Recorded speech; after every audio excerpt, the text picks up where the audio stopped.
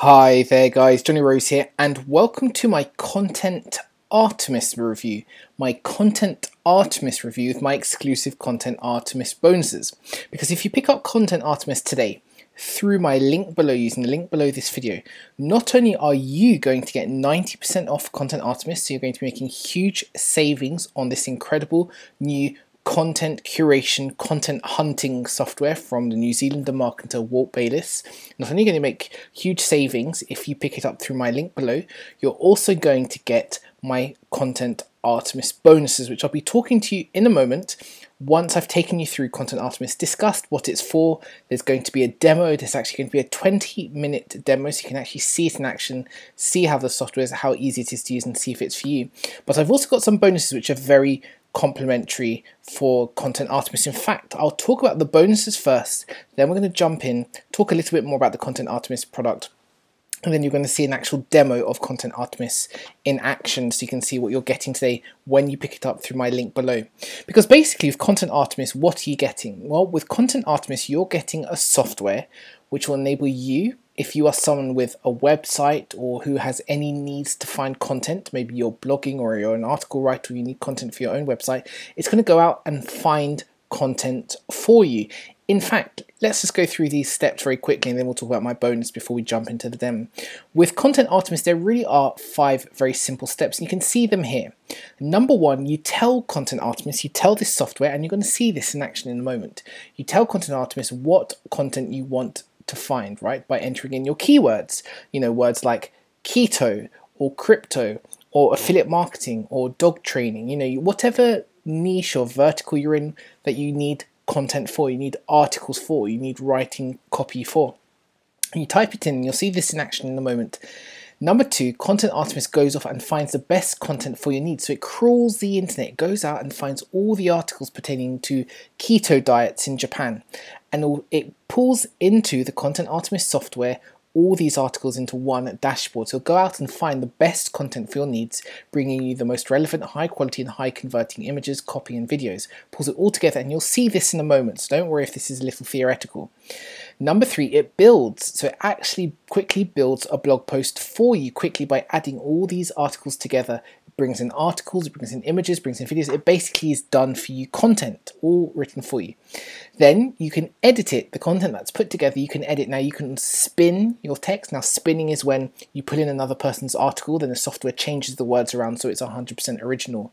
Or you can manually edit yourself, add in extra elements, make it your perfect post. But the point is it's pulling in other people's articles and you can then, if you wish, edit it manually so it's more original or press spin, and you'll see this in the demo, and change it into an entirely new article using the words that are already there. Then finally, it allows you to publish your content to your blogs, to your WordPress site, to your any website you have, and to your social media with social post sharing. And that's it. So basically, it goes out and finds content written by other people, brings it into a software dashboard for you to look at. It changes it into an original article, then posts it to your website or to your Word WordPress site, to your blog, or to your newsletter, wherever you want to publish it, and allows you to share it. That's it. It's a content finding, hunting, and editing tool. Now, you're going to see a demo of this in action in a moment, and you're going to see why this is so cool and powerful. Hopefully, if you're watching this, you understand that content is crucial, right? Content is what helps people find your website, find your business. And actually, you need to be a good writer, right? For your content to rank, for people to stay on the page, for them to come and find you, you need both to be a quality writing and you need volume. That's how you need to be found online.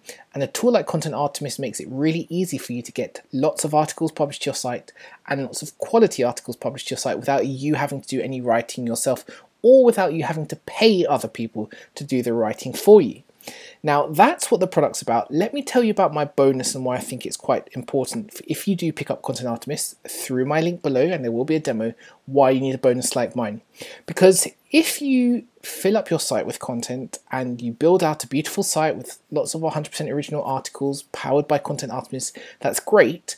But it's no use if no one comes to your website. I see this time and time again in internet marketing. People build up these blogs and these websites which are filled to the brim with great blog content and yet no one comes to it. They get no traffic, no visitors, and therefore no sales or conversions. And this is the same if you're an affiliate marketer or in e-commerce or you're a coach or a consultant or you do B2B marketing. The same problem everywhere. People think blogs are what get people to your website, and it does, but it's only 5% of the traffic issue, which is why I want to give you my own product, my own exclusive product called FOMO Traffic, which I give to my thousands and thousands of customers who buy any software or tools from me. Basically, FOMO Traffic is something I created to give and help anyone who's struggling to get visitors to their website, visitors to their web page. Now, check this out FOMO traffic. What it's going to do, this is my bonus. this is what you will get automatically if you pick it up through my link below, Content Artemis. You're basically going to get this traffic solution, which is going to drive massive organic traffic from Quora, Instagram, Snapchat, and Pinterest. I'll say that again Quora, Instagram, Snapchat, and Pinterest. You're going to get um, massive laser targeted buyer traffic from these four platforms. Now, these aren't the most popular platforms normally, right? And that's why it's so powerful because most people are chasing down buyers and visitors and web traffic from Twitter and Facebook, which leaves these platforms really under leveraged and prime for someone like you to start pointing towards your blog, your website, which is powered by Content Artemis. So I if and you can see this is normally a paid product, but I give it to you for free today. You can see some really great testimonials. Now, Philip Johansson down here, Philip is a YouTuber. He used FOMO traffic to grow his YouTube site. He now has 14,000 visitors. I actually think it's much more now since I last looked. He has 14,000 um, followers, subscribers on his YouTube channel. He used FOMO traffic, my bonus, which I'm giving to you today, if you pick up Content Artemis from my link below, to grow his channel to 14,000 uh, subscribers. Then you have Dan Khan. He also has a big YouTube channel. I think it's more like 7,000 uh, subscribers. He again used FOMO traffic to grow his following to get massive targeted traffic from Quora, from Instagram, from Snapchat, from uh, Pinterest, which is what you're getting. You're going to be able to point this at your Content Artemis powered blog and website. You're going to be getting loads of laser targeted buyers from these four platforms. Then you have Bill Ang, who's an affiliate marketer, and it's Bill Ang whose results I have here. This is how he, this is the kind of money he was able to make with the traffic from FOMO traffic. So if you want to be making money with FOMO traffic, you know, with Content Artemis, if you want to increase your followers and your subscribers and your web visitors to your Content Artemis powered websites, you need my bonus, which you'll be getting completely for free. Normally, I pay charge people $97 for this. You'll get it for free if you pick up Content Artemis through my link below. That's all you need to do.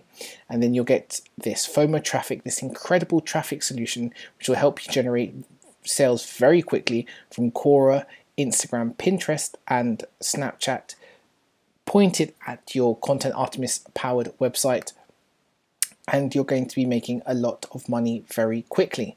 So I hope that's exciting. You're basically getting everything you need. You get with Content Artemis, you're getting content. With my bonus, you're getting traffic from four um, websites, completely organic, no paid traffic.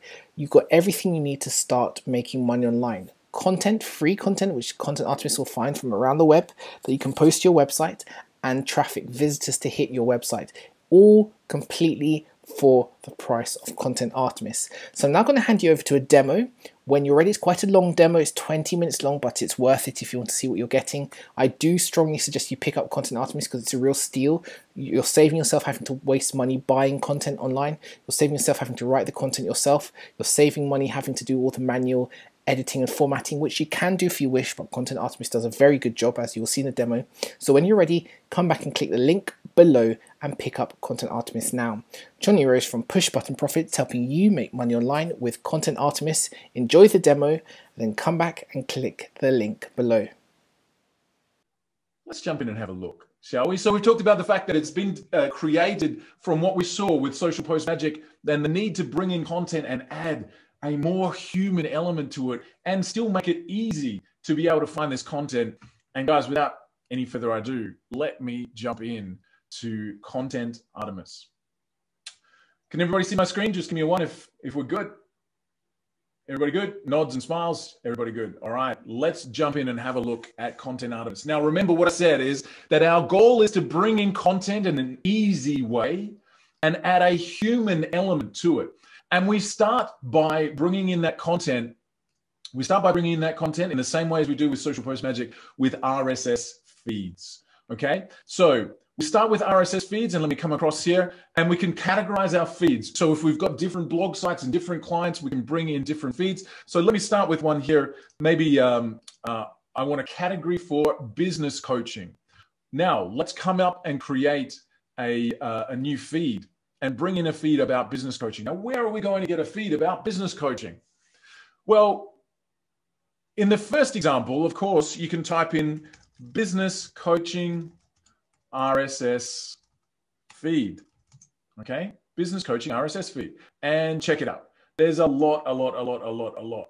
Okay, and you can get your RSS feeds literally just as easy as that. What if you really liked Neil Patel's blog? All right, Neil Patel is is a genius when it comes to content marketing. So any WordPress blog, something for you guys to know, any WordPress blog, okay, you can pick up um, the feed by simply typing the word feed at the end of the URL. Okay. So for me, it's waltbayliss.com slash feed. Okay. And it looks like this. When I look at neilpatel.com slash blog slash feed, this is what an RSS feed from Neil Patel's blog looks like. Okay. So one of the first things that you can know is you can bring in content from any WordPress site and 35% of the web is WordPress just by adding slash feed onto the end. Okay. So I could bring in Neil Patel's blog. So let's let's drop this in. Let's uh, create a new content new category uh, for content marketing. Okay. And let's uh, let's bring in Neil Patel's feed. So for content marketing category, I've got Neil Patel's blog and I just copy and paste the feed in here. Generate. That's all I need to do. Okay. So I've got Neil Patel's blog feed coming in. But one of my favorite sources of content via our, so you can do, again, you can do that on any feed, by the way, on any WordPress blog. Uh, as Neil himself says on this very same page that we were just on, there are services like FeedBurner, which allows you to create um, RSS feeds. Like there's a lot of different ways to get RSS feeds. One of my favorite ones is Google Alerts. Okay. Now this is free and available to anybody on the web. All right. And what this allows you to do is create content that is completely unique to you. Right. So let me give you an example. If I wanted to create a, uh, a blog and I was um, not just uh, not just um, content marketing as we just did with with Neil Patel, right? But I wanted to be a bit more specific, and I wanted to say, find me an alert about content marketing and SEO specifically, content marketing and SEO. Now, need to make sure I'm spelling correctly. Content marketing and SEO. Now, as you can see, there's quite a lot of material coming through here. So what do I need to do? I need to come up here and click show options. And instead of delivering to my email address, I want that delivered to an RSS feed. And then I just click on create alert. Now I've got an alert specifically about content marketing and SEO. And I've got that little icon there. I just right click that and copy it and bring it into my content Artemis system. So again, I'm going to put it in my content marketing category, the uh, alert about SEO and drop that in. Okay. Did I not put it in correctly? I may not have. Content marketing, alert. Let's see. Feeds, generate. Okay, let's see if that came in and it's just giving me an error right now. Okay, let me come back to one that I know is bringing in details, business coaching. All right. I'm glad Brian's joining us. Brian, our resident SEO specialist. There we go. Just dropping in a feed about business coaching. There we go, one that we had from a Google alert. Now, so I can literally have any number of feeds coming into my system on any number of topics that I want to have.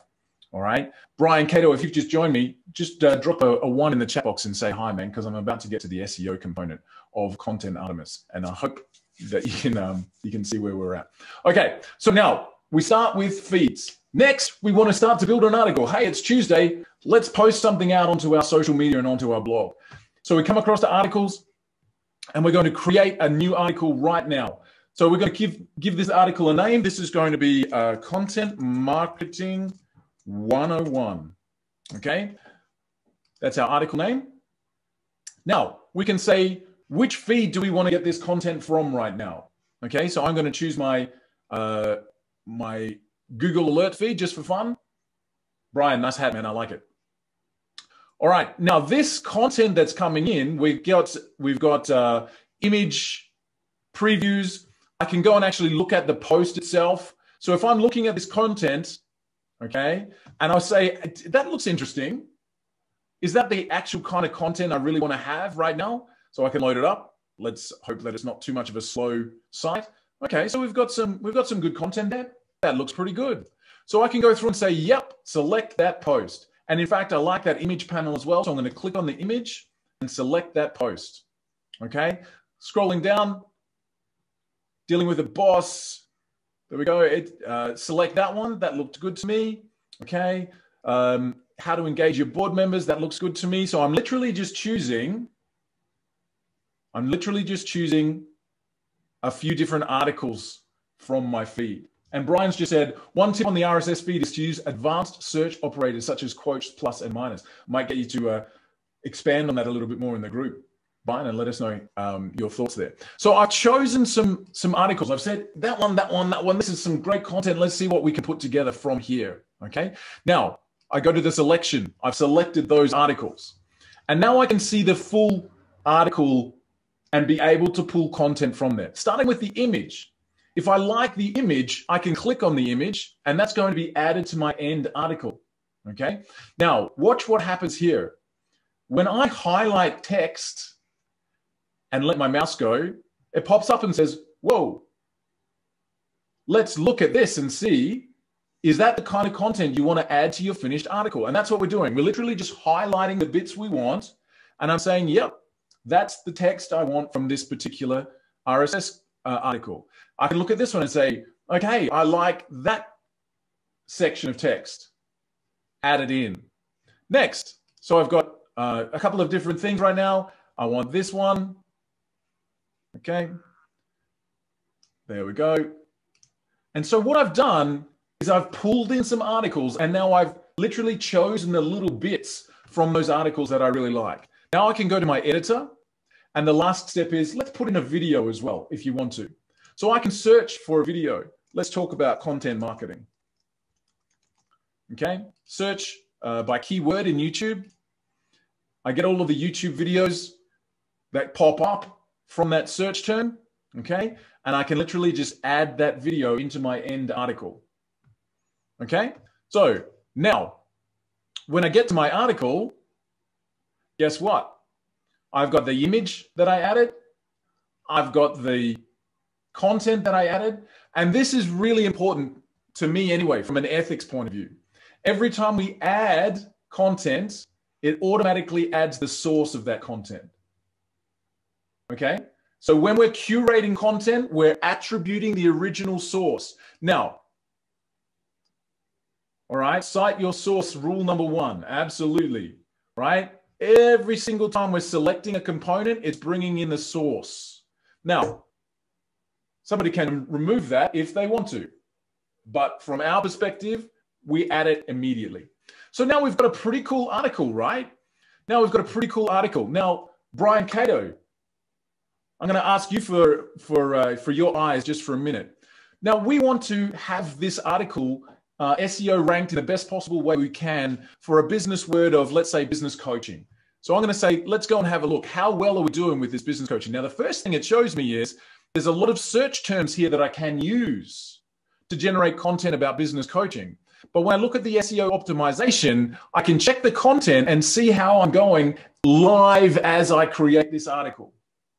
Live as I create this article. The focus keyword business coaching doesn't appear in the post title. Well, let's change that, shall we? Business coaching. Okay. All right, so that'll update in just a second.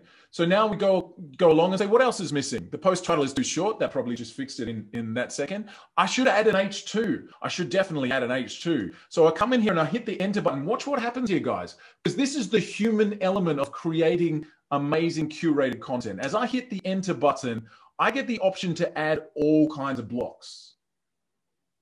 I can add in images, paragraphs, headings, block quotes, audios, um, media files, download links, HTML, literally anything I want to.